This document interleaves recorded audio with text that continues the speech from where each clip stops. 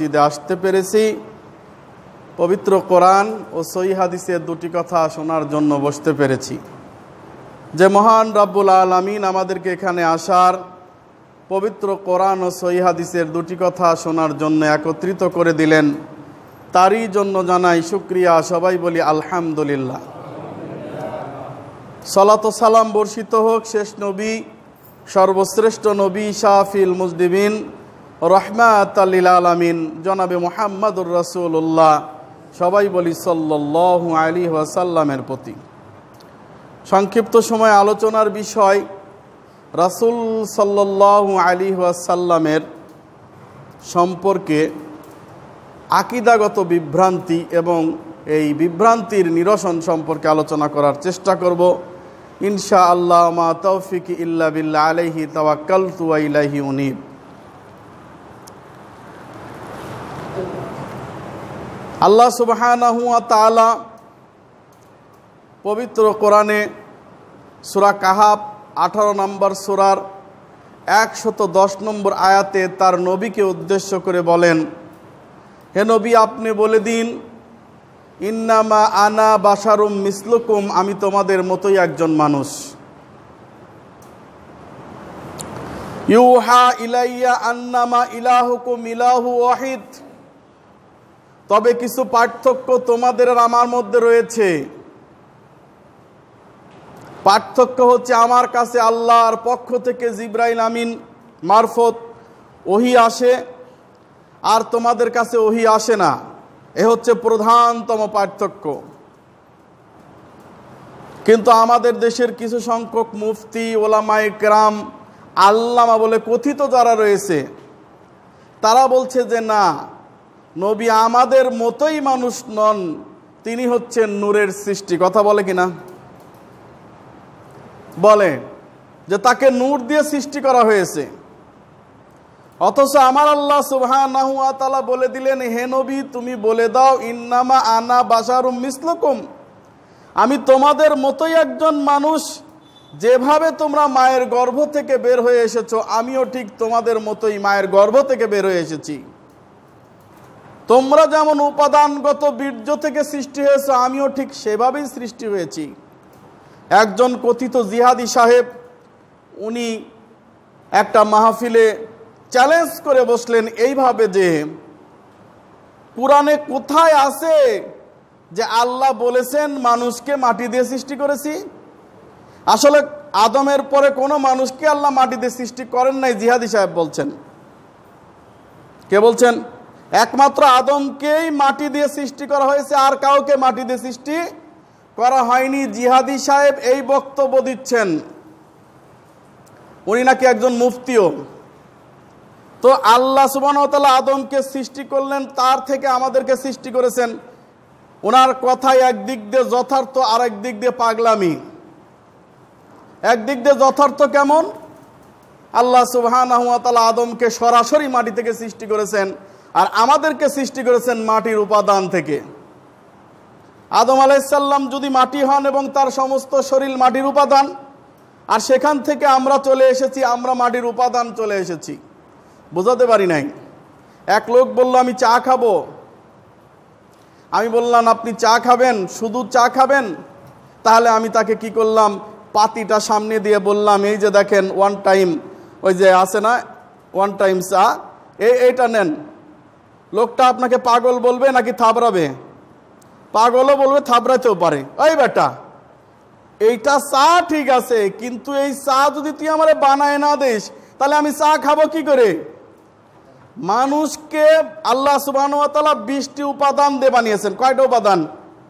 বিশটা উপাদান দিয়ে বানিয়েছেন যা সারা দুনিয়াতে আছে।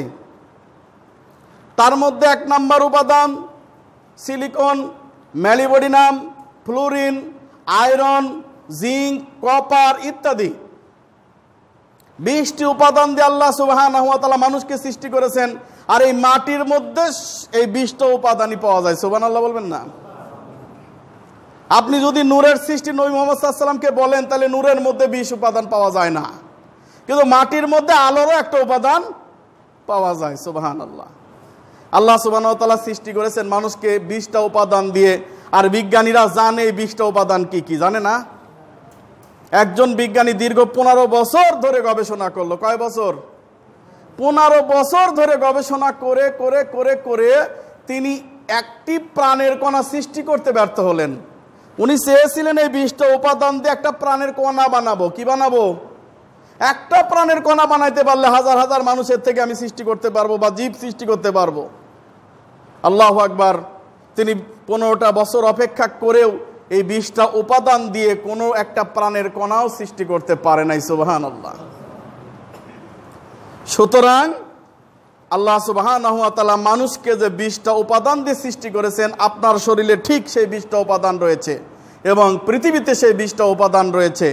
আর উনি বলছেন যে, সরাসরি কোনো মানুষকে মাটি দিয়ে সৃষ্টি করে নাই, তার মানে আপনার ব্রেনটাকে কনভার্ট করে অন্যদিকে নিয়ে যাওয়া চিন্তা ভাবনা উনি বলছেন, কোরআনের কোথাও নেই যে মানুষকে মাটি দিয়ে সৃষ্টি করেছে আদমকে সারা আশ্চর্য লাগে, কোরআন সম্পর্কেও মিথ্যা কথা বলতে ওদের মুখে একটু আটকায় না।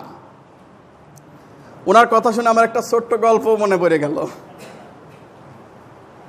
এই আমাজন জঙ্গল আছে না, সুন্দরবনের জঙ্গল আছে না?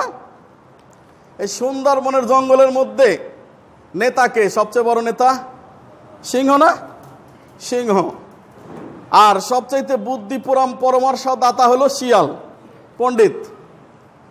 তো শিয়াল, পণ্ডিত একদিন দেখে যে সিংহ মামা বসে বসে বিড়ি খাচ্ছে, কি খাচ্ছে? কথা কন না কেন?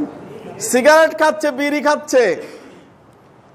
তো শিয়াল মামা বলতেছে, এই সিংহ, শিয়াল বলতেছে, এই সিংহ মামা, তুমি বিড়ি খাচ্ছ কেন? এটা স্বাস্থ্যের জন্য ক্ষতিকর, ছেড়ে দাও এটা।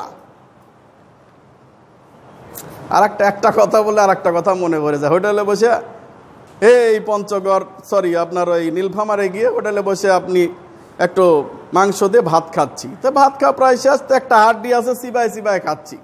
তো এক মস্তান টাইপের ছেলে এসে, এই যে এর মধ্যে কি কয়, একটা কাঠি দিয়ে খোঁচাচ্ছে আর বলতেছে, হুজুর, কি ব্যাপার? আপনাদের দেশে মনে হয় কুত্তায় হাড্ডি পায় না। সেভাবে হাড্ডি খাচ্ছেন। আমি বলছি, উনি সিগারেট খাচ্ছে আর আমাকে এই কথা উপদেশ দিচ্ছে। তা আমি বলছি, ঠিকই বলেছেন, আমাদের দেশের কুত্তা তো আপনার মাংস পায় না, ওরা সিগারেট খায়।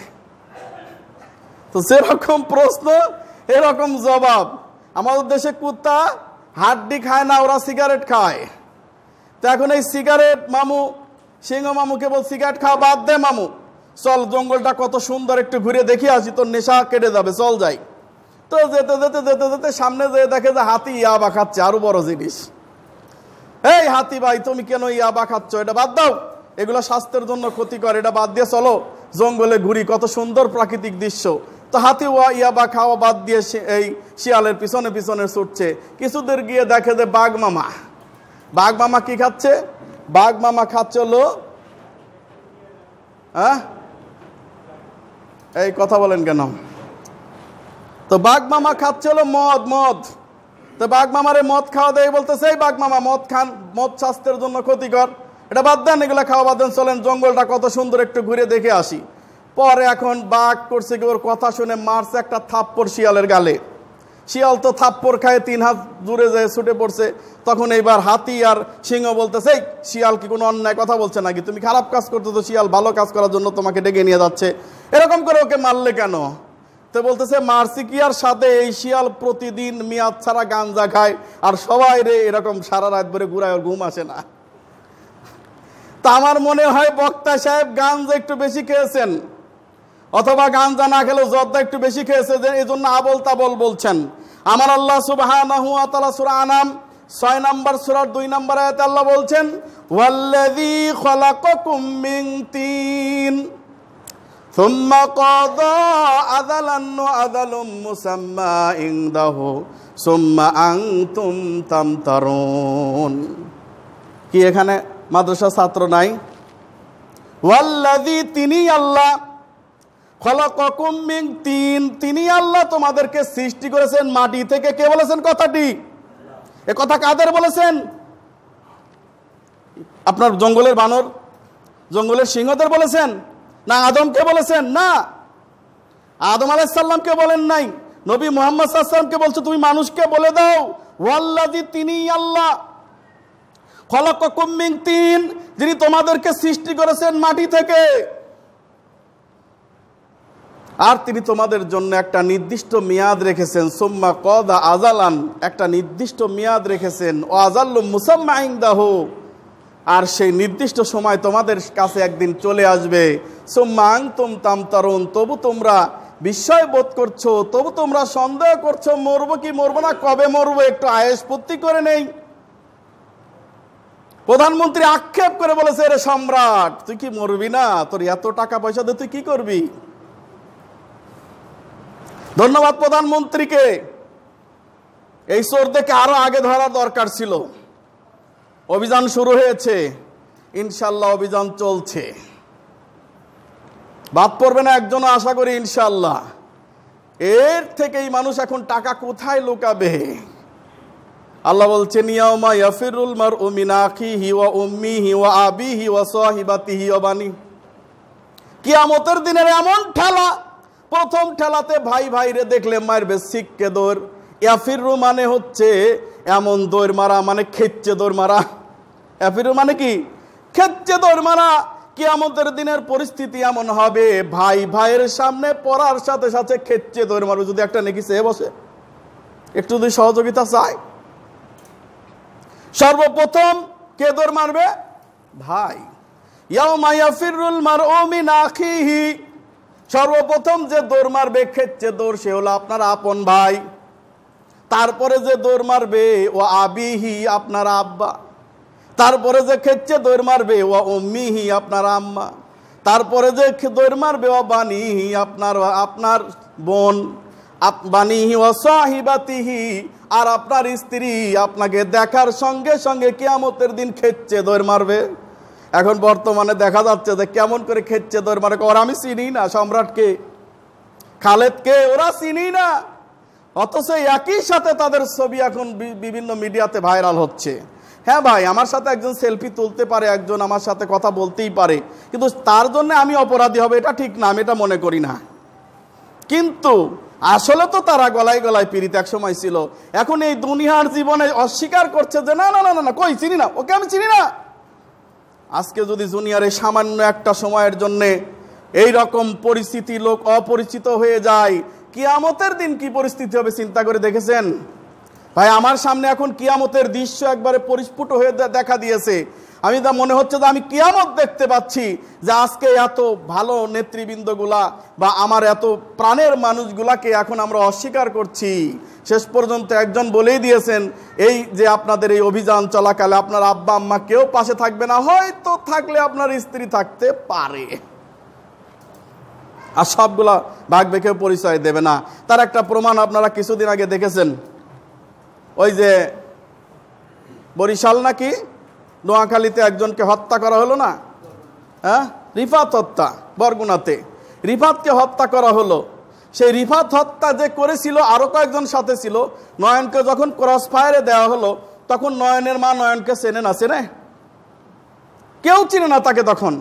এবং সে মৃত্যুবরণ করলে হাজার একটা ভালো খারাপ মানুষও যদি মরে, আমার মনের মধ্যে একটু খারাপ লাগতেই পারে। কিন্তু সেদিন আনন্দ উৎসব করেছিল মানুষ, মিষ্টি খেয়েছিল সেদিন। কেন? কবি বলেছেন যে, শোনে রাখো, তুমি তুমি এমন জীবন তুমি করিবে গঠন, মরিতে হাসিবে তুমি কাঁদিবে ভুবন। তুমি মরার পরে তোমার জন্য সমস্ত মানুষ, গাছপালা সব কিছু কাঁদবে। কিন্তু তোমার এমন মৃত্যু যে তোমার জন্য কেউ মরল না, তোমার লাশটাও নিতে কেউ প্রস্তুত নয়। কারণ কি? ওই সময় আপনার পাশে কেউ থাকবে না। অতএব সাবধান হয়ে যান। আজকে যারা এই সমস্ত দুর্নীতির সাথে জড়িত, মসজিদ ইউনিট থেকে শুরু করে একবারে, কি বলব, সংসদ পর্যন্ত দুর্নীতির আখড়াই বাংলাদেশে। বলবেন যে আবার হুজুরের পিছনে লাগলেন কেন? হুজুর আপনার কি করছে? আরে হুজুর মসজিদের মোমবাতি চুরি করে খায় এমনও রিপোর্ট আছে না নাই? আবার বলবেন, আমি সভাপতি, সেক্রেটারি খুব ভালো না। সভাপতি, সেক্রেটারি মাহফিলের টাকা অর্ধেক মেরে দেয়। ভাগাভাগি হয়। মসজিদের টাকা বেশি উঠলে সেটা নিয়ে ভাগাভাগি করে খেয়ে দেয়। আমি, ভাই, আপনাদের কথা বলি নাই। এরকম হয় কি না? দুর্নীতি একেবারে মসজিদ থেকে শুরু করে সংসদ ভবন পর্যন্ত খালি দুর্নীতি আর দুর্নীতি। আর আমি বলতেছি, আল্লাহ, তুমি উমরের মতো শাসক দাও না কেন? আরে একটা উমরের মতো শাসক পাইতে হলে তোমাতে কম পক্ষে হামজার মতো হতে হবে। ওমরের মতো শাসক পাইতে হলে কমপক্ষে তোমাকে ওসমানের মতো হতে হবে। ওমরের মতো শাসক পাইতে হলে কমপক্ষে তোমাকে আলী কার্রাম আল্লাহ আজাহর মতো হতে হবে। কাছাকাছি হতে হবে। খালেদ সাইফুল্লার মতো হতে হবে। কই? আজকে আমরা ওমরের মতো শাসকের জন্য আল্লাহর কাছে দোয়া করি। অথচ আমরা নিজেরাই দুর্নীতিগ্রস্ত। একেবারে সংসার ইউনিট থেকে শুরু করে একেবারে পার্লামেন্ট পর্যন্ত দুর্নীতি আর দুর্নীতি। বাংলাদেশ গরিব, এ কথা আমার আর স্বীকার করতে আমি স্বীকার করার কোনো যুক্তিই নাই। বাংলাদেশের মানুষের মতো এত অর্থ করি সম্পদ মনে অন্য কেউ নাই। তাই তো ডোনাল্ড ট্রাম্প সহ বিশ্বের বাগা বাগা নেতারা, পুতিন, এরা এখন সিরিয়াল ধরেছে বাংলাদেশে আসা যায় কিনা। এত টাকা পয়সা, একটু ঘুরে আসি। মানে একটা ফান আর কি করেছে ফেসবুকে দিয়েছে যে এখন তারা সব বাংলাদেশের ভিসা কালেকশনের বাংলাদেশে আসার চেষ্টা করতেছে। এত টাকা! নদীর মধ্যে ভেসে যাচ্ছে এত টাকা, কোটি কোটি টাকা স্বর্ণ, কোটি কোটি টাকা থেকে এরা পায়? বঙ্গবন্ধু বলেছিলেন সেই উনিশশো একাত্তর সালে যখন বাংলাদেশে দুর্ভিক্ষ হয়েছিল, তিনি তিনি বলেছিলেন, আমি ভিক্ষা করে অন্য রাষ্ট্র থেকে টাকা নিয়ে আসি আর এই চাটার গোষ্ঠী চেটে পিটে সব খেয়ে ফেলে আমার গরিব পায় না। একদম সত্য কথাটা তিনি বলেছিলেন। এ কারণে হয়তো তাকে এই কথার খেসারত দিতে হয়েছে, আল্লাহ মালুম, আল্লাহ ভালো জানেন। আজকে তারও মেয়ে সেই একই কথা বলছে যে দুর্নীতির সাথে কোনো আপোষ নাই।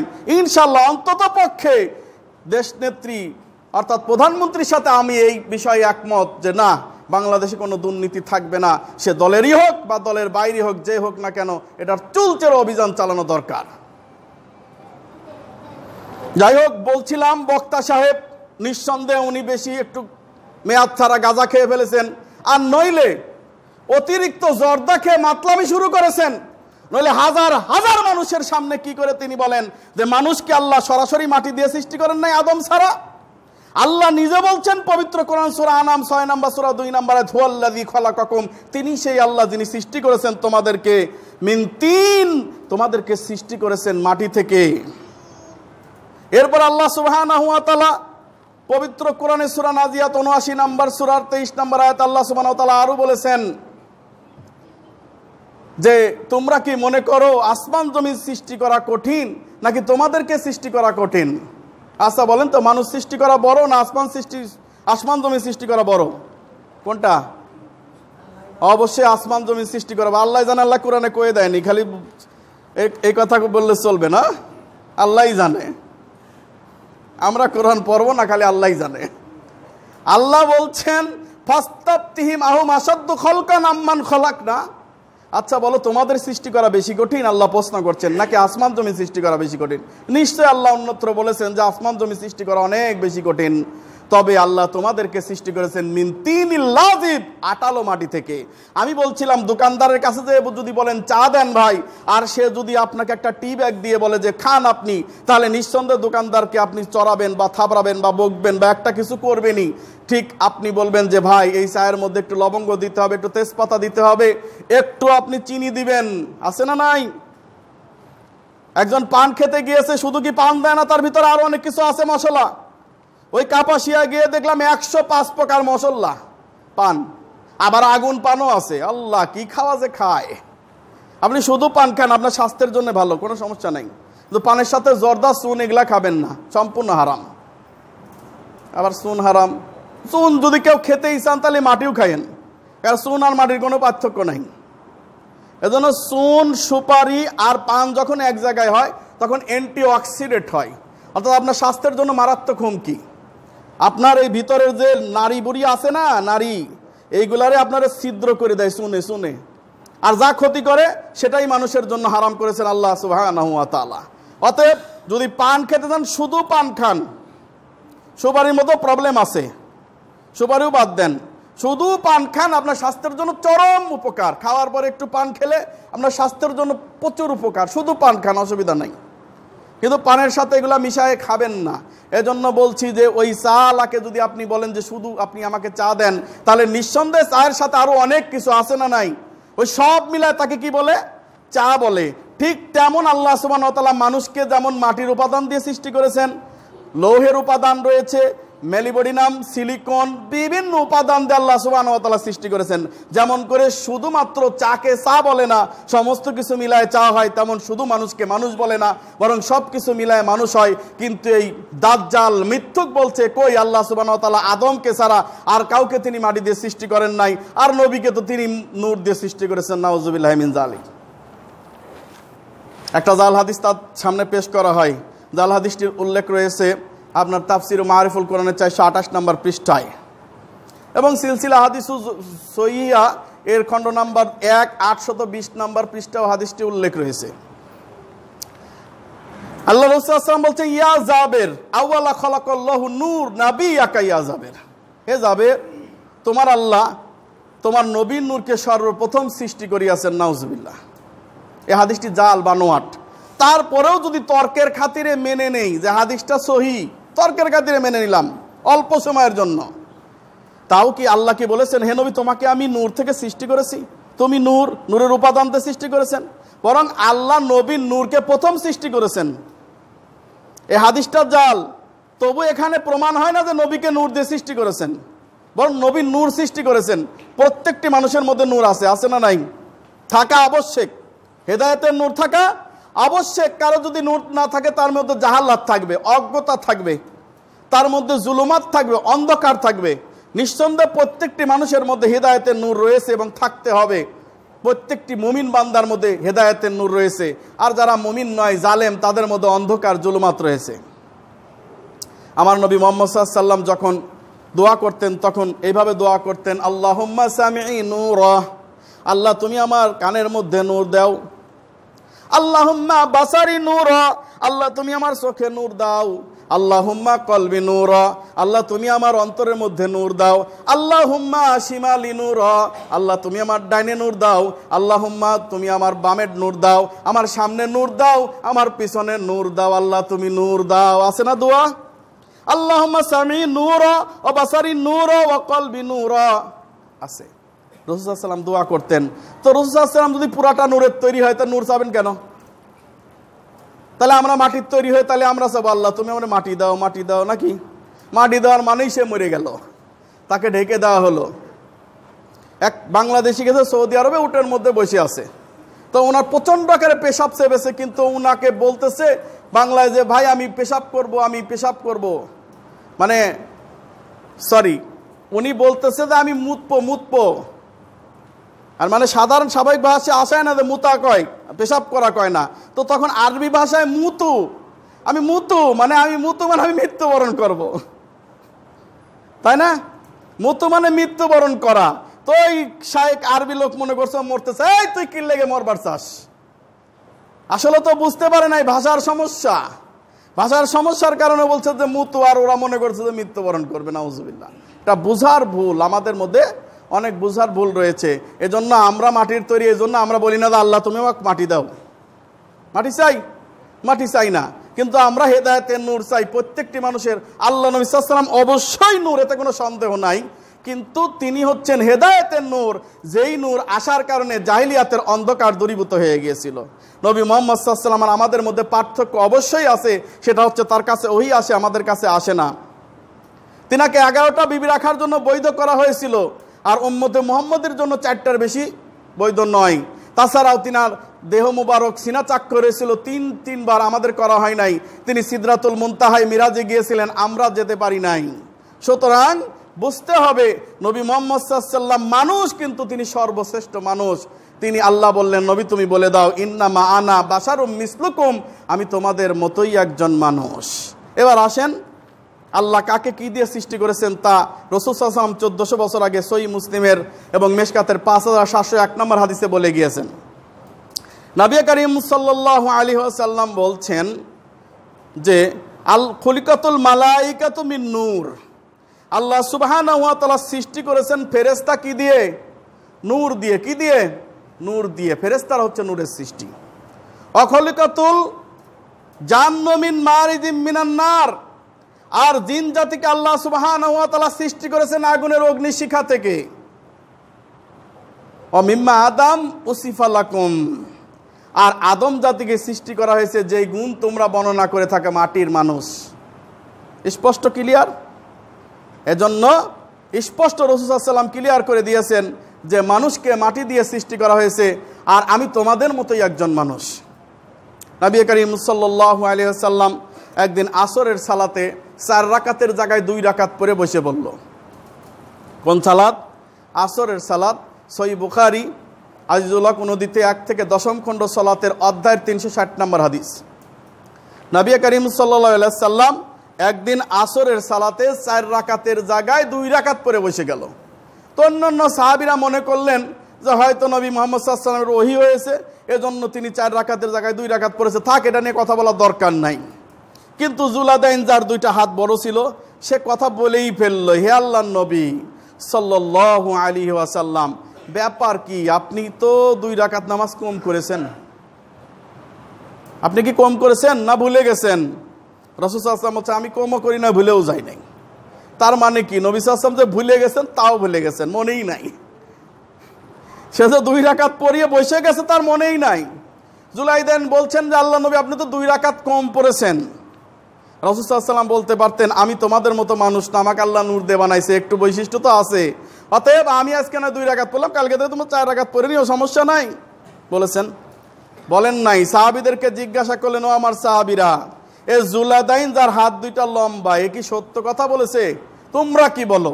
সাহাবিগণ বলতেছেন, হে আল্লাহ রাসুল, উনি ঠিকই বলেছেন, আপনি দুই রাকাত কম পড়েছেন। নাবিয়া করিম সাল্লাম আর কথা না বলে পা মুড়িয়ে দাঁড়িয়ে গেলেন।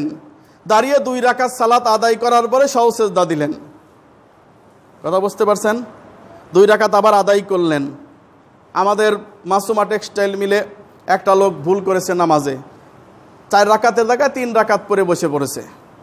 তখন নামাজ শেষ করে হই কই শুরু হয়ে গেছে। মানে ইমামের একটু ভুল পাইলে তো মানুষ পায় একেবারে পারলে পুরা বাঁশ বাগানি দিয়ে দেয়। বাঁশ দেওয়া তো দূরে থাক। তো এবার তো তার ভুল ধরা শুরু করেছে। হুজুর আপনি এক রাকাত কম পড়েছেন। হুজুর বললে হ্যাঁ হ্যাঁ ভুল হয়েছে, আমি তো কম পড়েছি। তা এখন কি করবেন?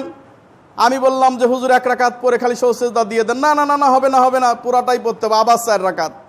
আমি বললাম, পড়েছি মোগলের হাতে, খানা খেতে হবে একসাথে, কি করা?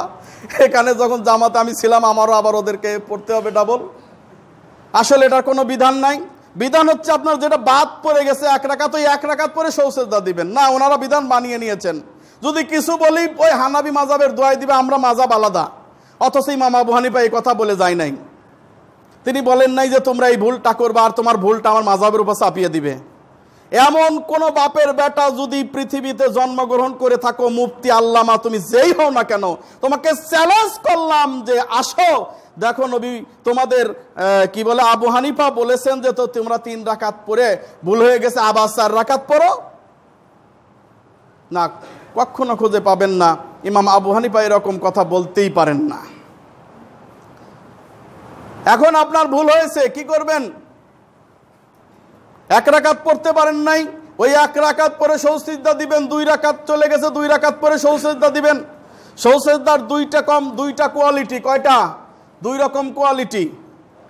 একটা হচ্ছে আপনার নামাজের মধ্যে ভুল ধরা পড়েছে, আপনাকে বলে দেওয়া হলো, বা লুকমা দেওয়া হয়েছে তখন আপনি কি করবেন? এক রাকাত সালাদ যদি বাদ হয়, তাহলে আপনি সালাম ফিরার আগেই এক রাকাত পরে নেবেন। পড়ার পরে আপনি দুই দিকে সালাম ফিরানোর আগে দুইটা সৌসেজদা দিবেন। সৌসেজদা দিয়ে তারপরে দুই দিকে সালাম ফিরিয়ে দিবেন, ব্যাস, আপনার হিসাব কমপ্লিট। আর যদি এমন হয়, মনের মধ্যে আপনার সমস্যা চলতেছে, আমি কি চার রাকাতই বললাম না তিন রাকাত পড়লাম? চার রাকাত পড়লাম না তিন রাকাত পড়বান? আপনি এখন সিদ্ধান্ত নেন চূড়ান্ত যে আপনি তিন না চার পড়েছেন। ধরেন আপনি চারই পড়েছেন, কিন্তু মনে করছেন তিন পড়েছেন, তাহলে তিনের উপরই সিদ্ধান্ত নেন। নেওয়ার পরে আর এক রাকাত পড়েন, আপনার হয়তো পাঁচ রাকাত হয়ে গেছে, সমস্যা নাই। ওই পাঁচ রাকাত পড়ার পরে আপনি সৌসেদ্দা দেন, বুঝতে পারছেন? আর সৌসেদ্দার আগে ডাইনের দিকে একটা সালাম মারাও নাকি? সালাম দাও। হ্যাঁ এই যে অনেকে বলতেছো, হ। তার মানে সৌসেদ্দা দেওয়ার আগে ডাইন দিকে একটা সালাম দিয়ে নেয়, তার মানে ভুল না হলে ভুল করে নিলাম। কোথায় পেয়েছেন আল্লাহর এই জমিনের উপরে, আসমানের নিচে মর্মে একটা জাল হাদিস কেউ দেখাইতে পারলে আর বক্তব্য দেব না। কথা বোঝেন নাই? যে সৌসেজদা দেওয়ার আগে ডাইন দিকে একটা সালাম দেয় দেয় কিনা এই ডাইন দিকে সালাম দেওয়ার কোনো একটা জাল হাদিস, বানোয়াট হাদিসও যদি আনতে পারে, আমি তার খেদমত করব, সমস্যা নাই। নাই। এই পৃথিবীর বুকে এরকম কোনো হাদিস নাই। তবে আবার অনেকেই দেখবেন সৌসেজদা দুইটা দিয়ে আবার খানিক্ষণ বসে জিমায়। এ কিল লেগে জুমে, জিমায় আমি বুঝি না কিছু। ও হুজুর, আপনি বোঝেন নাই, আবার তাসাউদ পাঠ করে, আবার ওইগুলা সব পাঠ করে। কই পেলেন আপনি? হাদিসটা তো দুর্বল, অত্যন্ত জয়ীফ আপনি তার উপর আমল শুরু করে দিয়েছেন।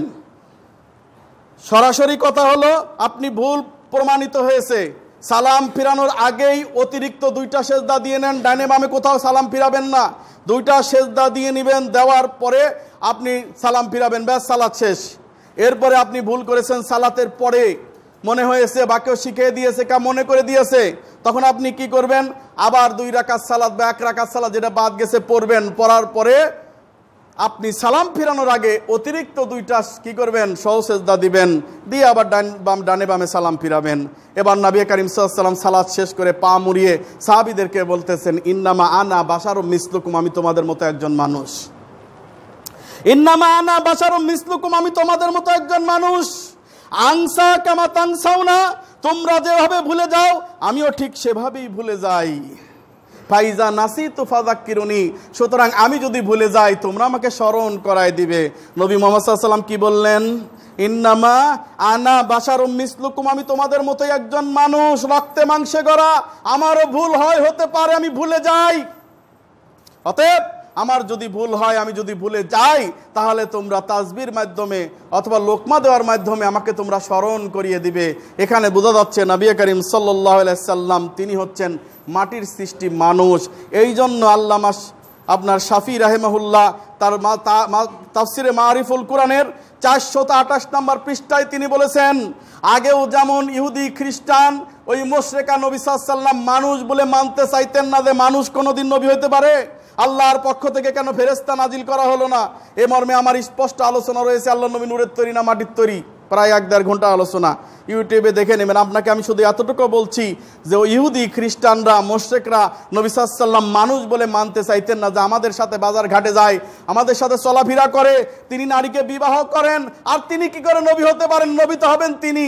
যিনি হবেন নূরের তৈরি, যিনি হবেন আসমান থেকে অবতীর্ণকারী। আজকে ওই মোশেকদের স্লোগান আর আমাদের কিছু মাজাবি ভাইদের স্লোগান একেবারে same to same to same কথা বলেন ঠিক কিনা?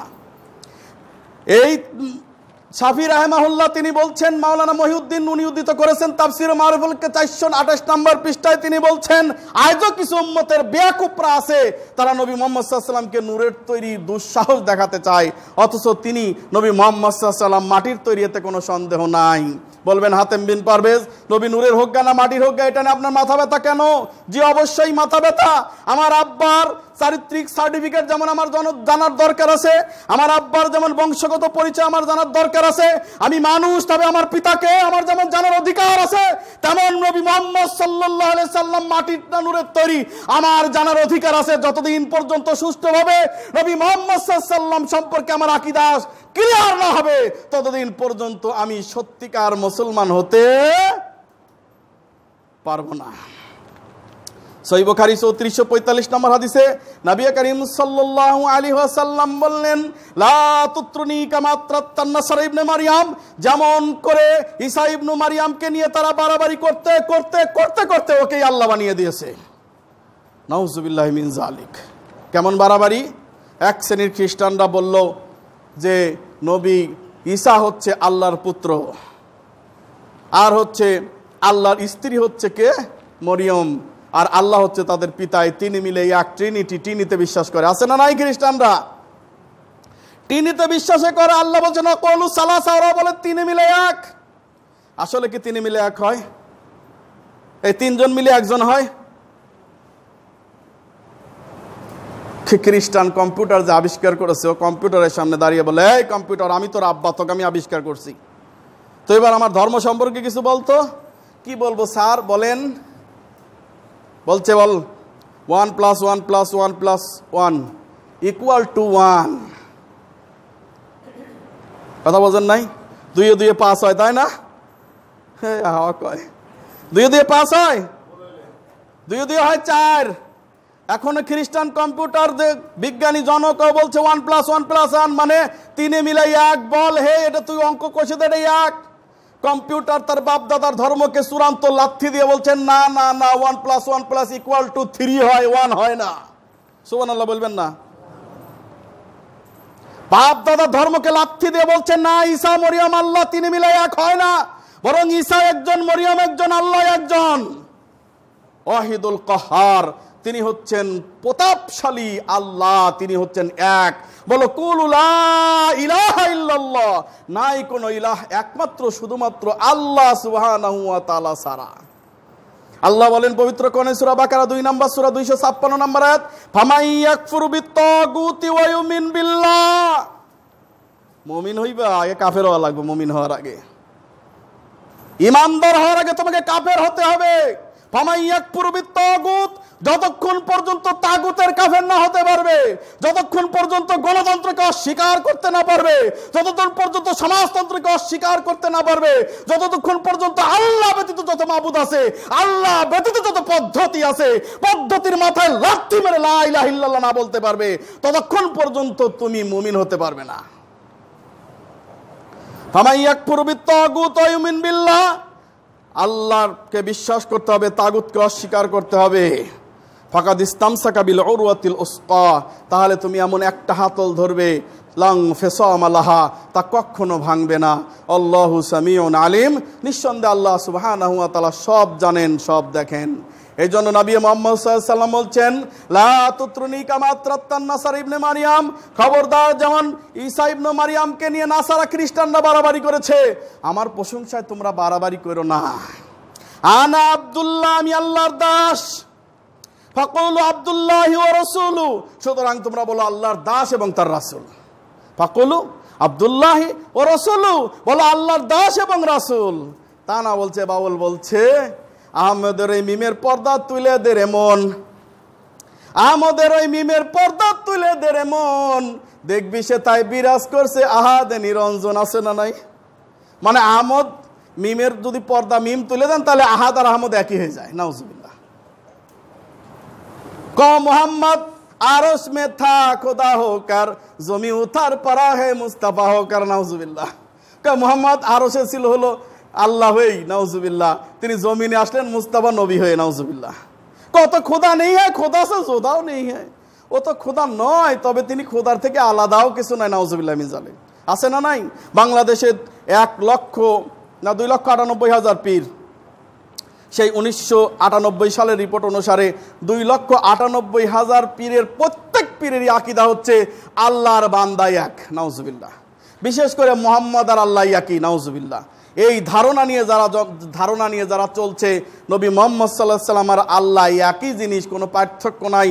নিঃসন্দেহে ওরা নিজেদেরকে মুসলমান দাবি করলেও, কালেমাওয়ালা দাবি করলেও, আমাদের সাথে সালাত আদায় করলেও, আমাদের সাথে জবেকৃত গোস্ত খাইলেও, আমাদের ঈদগাতে আসলেও, আমাদের সাথে কাঁধে কাঁধ মিলে চললেও ওরা জাহান নামে যাবে, এতে কোনো সন্দেহ নাই। প্রমাণ? সুরা ইউসুফ বারো নম্বর সুরার একশত ছয় নম্বর আয়াতে আল্লাহ বলেন ওমায়ুমিন আখতার হুম বিল্লাহ ইল্লাহম মুশরিকুন। ওরা অধিকাংশ লোক আল্লাহর প্রতি ইমান আনা সত্ত্বেও মুশরিক। ওরা অধিকাংশ লোক আল্লাহকে বিশ্বাস করে, তার নবীকে বিশ্বাস করে সব কিছুকে বিশ্বাস করার পরে ওরা জাহান্নামী। কেন? কারণ আল্লাহর সাথে শিরিক সাব্যস্ত করেছে। সুরা আল ইমরান তিন নম্বর সুরা একশো উননব্বই নম্বর আয়াত পরে দেখেন, আল্লাহ সুবহানাহু ওয়া বলছেন ও শাহিদু আন্না রসুল হাক্কুন ওরা সাক্ষ্য দেয় আল্লাহ রসুল সাল্লামই হক, সত্য। এ ভাই, আপনারা দেখেন না মাহফিলে গিয়ে অমক দমক দলের প্রার্থী উঠে বলে না? নবী মোহাম্মদ আদর্শে সবচেয়ে বড় আদর্শ বলে না ভাই? এ বলে কি না? তারপরে কার আদর্শ মানে? আমরা অমকের সৈনিক। আমরা তমকের সৈনিক বলে কি না?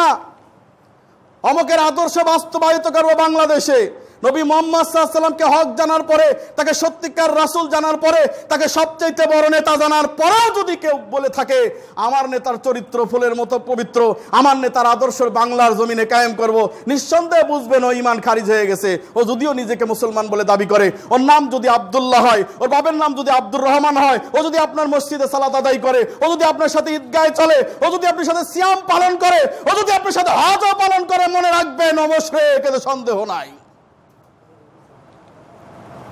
অতএব সাবধান হয়ে যান। একটু চাপেন, ভিতরে লোকজন বসতে, বাইরে লোকজন বসতে পারতেছে না। আর কমিটির কাছে অনুরোধ করব যে পিছনের জায়গাটা যেন অবশ্যই ই করে দেয়। প্লাস্টার করে দেওয়ার চেষ্টা করে। আর যদি সমস্যা হয়, তাহলে আপনারা সহযোগিতা করবেন, যেন এটা করে দিতে পারে ইনশাল্লাহ সুতরাং, আসুন। রসুসাল্লামের সম্পর্কে, আকিদা সম্পর্কে দুইটা কথা বলতেছিলাম ভাই। অনেক বড় বিষয়। তাই আজকে প্রথম পর্বটা আলোচনা করলাম, ধারাবাহিকভাবে পর্বগুলো চলবে ইনশাল্লাহ আল্লাহ সুবাহান আহুয়া তালা আমাদেরকে পবিত্র কোরআন এবং সহিহাদিসের উপর আমল করা তৌফিক দান করুন। আল্লাহ আমিন। বারাক আল্লাহ ফিল কোরআন আজিম ওনাফান হাকিম। আলহামদুলিল্লাহ, আমি একটা সিদ্ধান্ত নিয়েছি যে আমরা জমা সম্পর্কে অনেকেই জানি না, জমার ফজিলত কি। হাদিসটি আমি পরে বলব, তারপরও আমি তো আপনাদের একটু স্মরণ করায় দিতে চাই, যে ব্যক্তি তিন, পর পর তিন জমা কি করল? সালাত আদায় করল না, জুমার সালাত? আল্লাহ তার অন্তরের মধ্যে মোহর মেরে দেন, হৃদায়তের নূরের মধ্যে প্রবেশ করতে পারে না। আমরা এই জুমার সালাতে আসার পরে দেখি এক একজন এক এক কিছু নিয়ে ব্যস্ত, কেউ মোবাইলও টেপে আসে না নাই? ও যে ব্যক্তি মোবাইল টেপে ওরসে বড় বেয়াদবান নাই। কারণ জুমার সালাতের সময় একজনকে চুপ থাকেই বেটা, এ কথা বলাও নিষেধ, হারাম। একজন কথা বলছে আপনার পাশে, ওকেও আপনি নিষেধ করতে পারবেন না, তুই চুপ কর। তাহলে আপনি কিসের? ফজিলত প্রাপ্ত হবেন না। একটি হাদিস আপনাদের সামনে হাদিসটি উল্লেখ রয়েছে বোখারি, মুসলিম। আবু দাউদের এক হাজার পঞ্চাশ নম্বর হাদিস। রসুসাল্লাম বলেন, খুব মনোযোগ দিয়ে শুনবেন। যে ব্যক্তি জুমার দিন গোসল করে সুগন্ধি মেখে মসজিদে এলো ও যথাসাধ্য মোতাবেক নফল সালাত আদায় করল। কথা বুঝতে পারছেন? যে ব্যক্তি জুমার দিন গোসল করবে, অন্য দিন গোসল না করলে অন্তত জুমার দিন গোসল করা উচিত। এবং একটু সুগন্ধি মেখে যথাসাধ্য মসজিদের মধ্যে আসবে, দুই রাকাত দুই রাকাত করে সে সালাদ আদায় করবে। যতক্ষণ খতিব মিম্বরে বসে না যায় বা উঠে না যায়, ততক্ষণ পর্যন্ত সে দুই রাকাত দুই রাকাত করে সলাত আদায় করবে। অন্য হাদিসে আছে, কেউ যদি প্রথম প্রবেশ করে, তাহলে তাকে উট কোরবানির একটা সোয়াব দেওয়া হবে। মনে করলাম যে আজকে উট কোরবানির সব আমি পাবো, কিন্তু আমাকে একজন ফেল করে দিয়েছে। তারপরে মনে করলাম, এবার মনে গরু কোরবানির পাবো। তারপর আমার ছেলে আগে ঢুকে এসে গরুরটাও নিয়ে নিলাম আমি পাইলাম ছাগল।